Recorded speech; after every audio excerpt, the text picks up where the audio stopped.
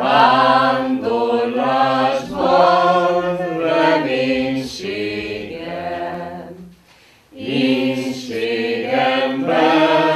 lát.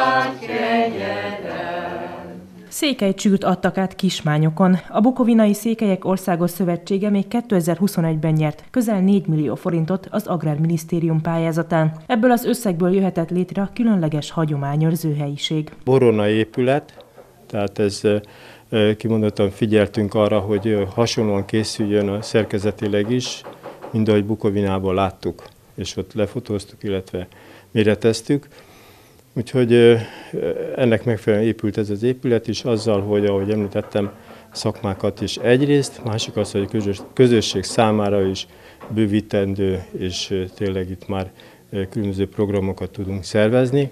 A csűra hagyományos technológiával fából épült, ponyvás sáros vakolattal. A régi kézműves szakmákat és egyben munkafázisokat mutat be egy állandó kiállítás keretén belül. Többek között az asztalos csizmadia, valamint a szűcs és a jövőben pedig a kovács mesterséget is gyakorolhatják az ide látogatók. Természetesen van egy kis konyhánk is, ahol kemencét építettünk, kájhát raktunk, és ezt is egy ilyen kicsit otthonosan, gyógynövényekkel fűszerezve, hiszen régen ugye az volt, amit használtak, valamint ugyanúgy a szövőszék, hát ugye az természetesen ide való, és az is itt megfelelő helyet kapott. Illes Tibor elmondta, hogy az épület lehetőséget ad elsősorban a fiatalok, és természetesen az idősek számára is, hogy otthon érezzék magukat és feltöltődjenek.